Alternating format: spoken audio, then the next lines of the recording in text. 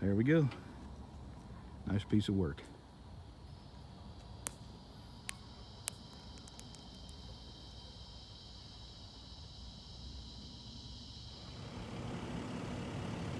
Yeah, fixing to have the concrete poured in them runners there.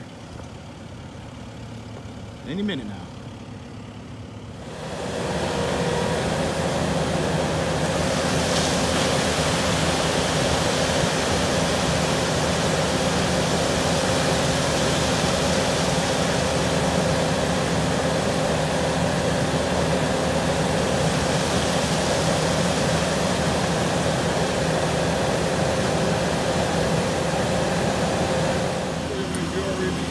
BRAD, yeah.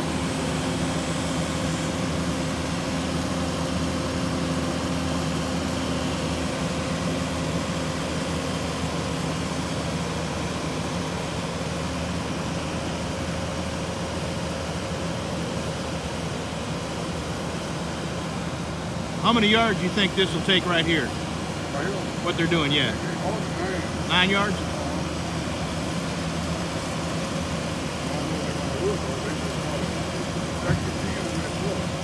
Oh, yeah?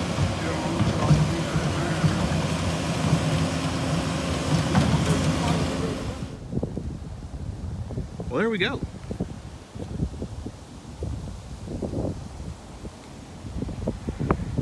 Boy, all these trucks coming and going, they have just tore up this poor old driveway. Look at that over there.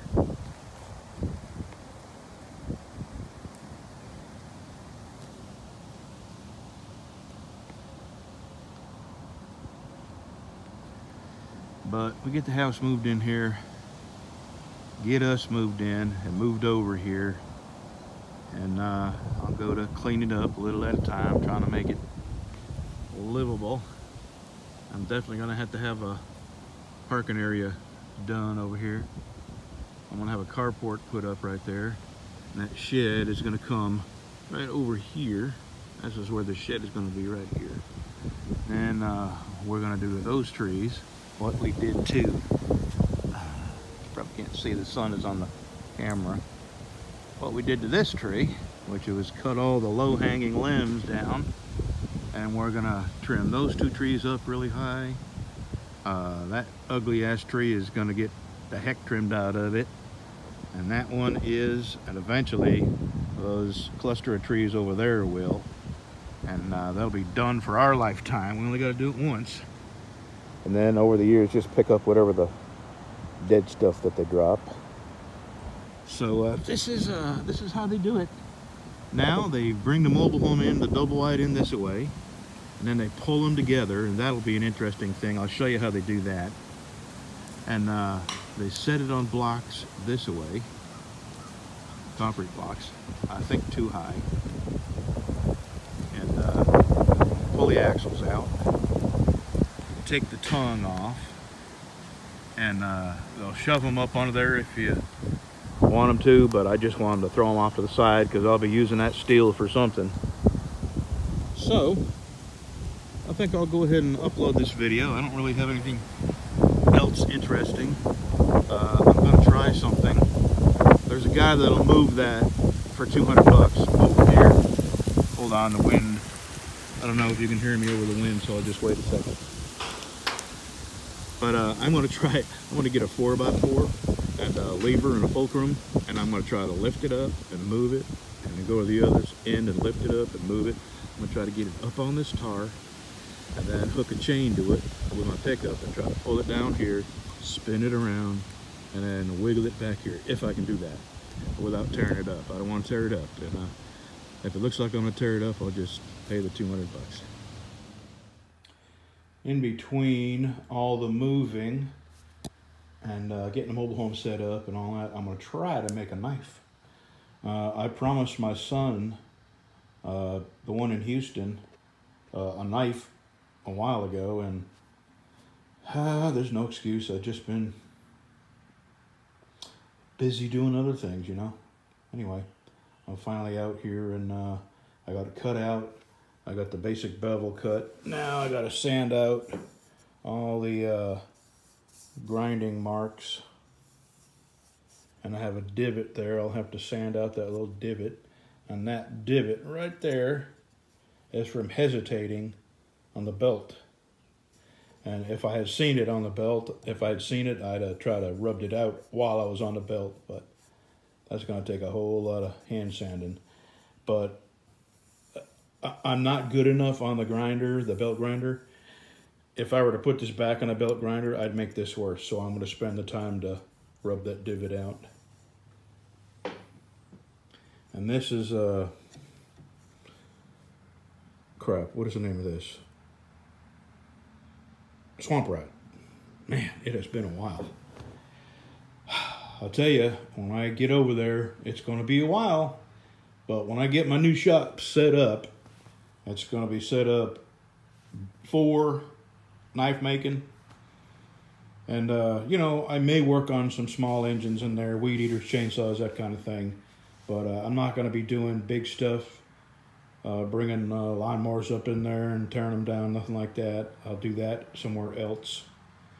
But uh, now that I know the tools I need and what works and what doesn't work, uh, I know how to set my shop up where all my, you know, on my, this is my 1x42 jet. I have uh, a 2x42 jet and I will be getting a 2x72 KMG. And, uh, you know, all my stuff that I use every day making knives, uh, I'm going to have it set up really, really convenient. I'm even going to have a table just like what I got now. Uh, and chair height so I can roll around it. And I may have a, a small bench just like that and I plan on having a separate room for finishing and leather work.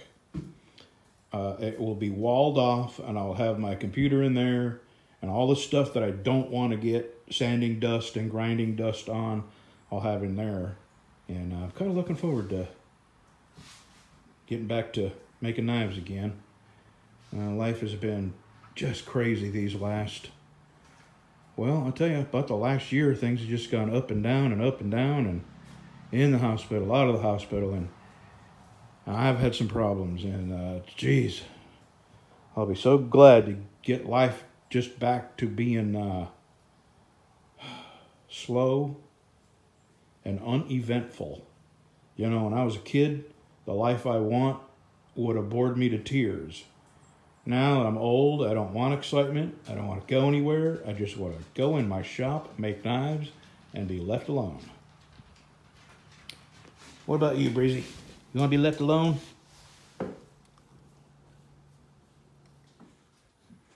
All right, I've got this, uh, I got the scratches rubbed out. Let me move this light a little bit. I got the grinding scratches rubbed out on both sides. And now I've got this sanded up to 220, starting to look like a knife now. I got the divot rubbed out here. That took some doing. that took that much doing. That's a whole lot of sandpaper right there. But uh, now uh, I'm going to do a little more 220 on each side wet this time. I got me a little bowl of water here. Uh, and then I'm gonna move up to 320. And uh, I'm gonna go all the way to 600 with this. Unless my son says he wants it highly polished, then I'll take it up to highly polished. Well, I got it up to 600. It's got oil on it.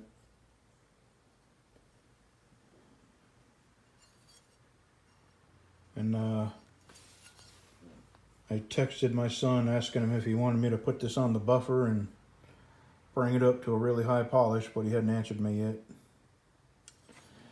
yet.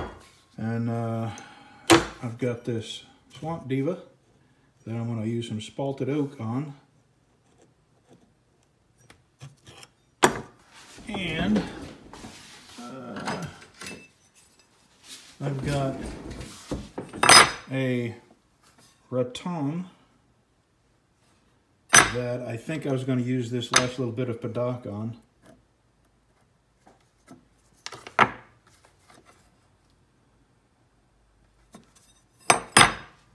Okay, that's all I got so far. I wonder if you can see that hummingbird on that bird feeder.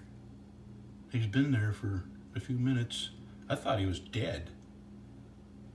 But uh I've never seen a hummingbird not move that much. Now he's just getting a sip now. I know it's probably hard to see through the screen, but I don't want to spook them. This is uh, the very end of October, almost almost November.